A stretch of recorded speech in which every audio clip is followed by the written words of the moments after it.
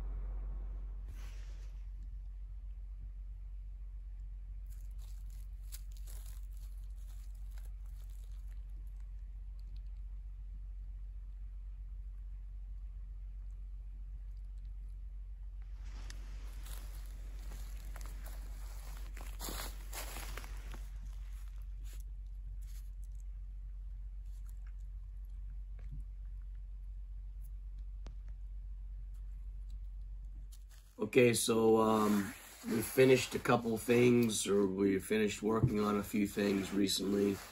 Um, that's final touches to provide um, some extra uh, heat efficiency for the lodge that we've built this uh, over the summer. So one thing that we did was we put what's called R-Tech. It's two inch foam boards under the floor of the building. And um, that's going to prevent um, heat loss from the inside the building going down. And it's also going to prevent cold air being sucked in from under the building going up into the structure. So it's a it's going to uh, increase our heat efficiency. The other thing that we've done is we've started working on the um, the R19 fiberglass insulation or rock wool insulation for the ceilings.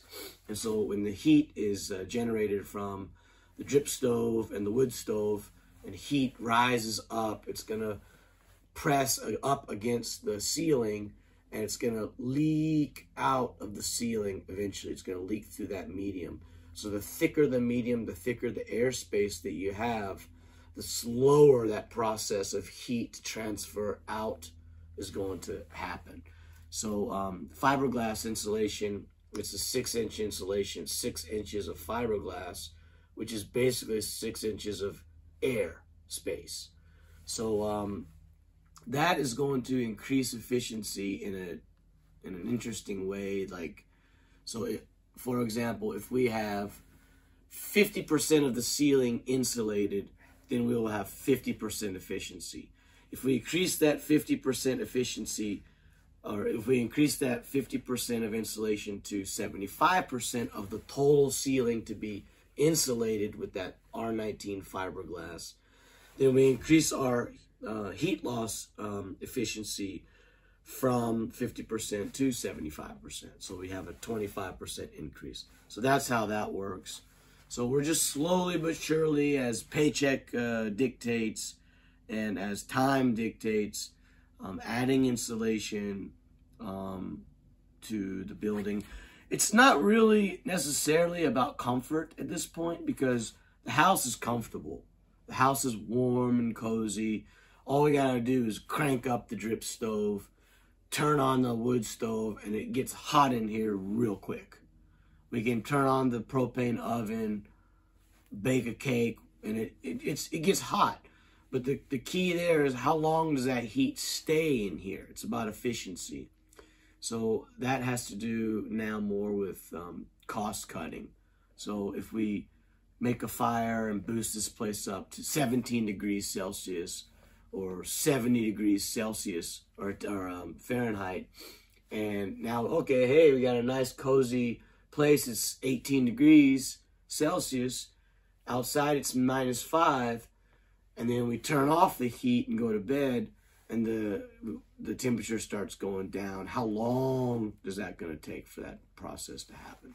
So um, we want to increase the length of time. So that's all we're trying to increase efficiency at this point. So that's what we're doing.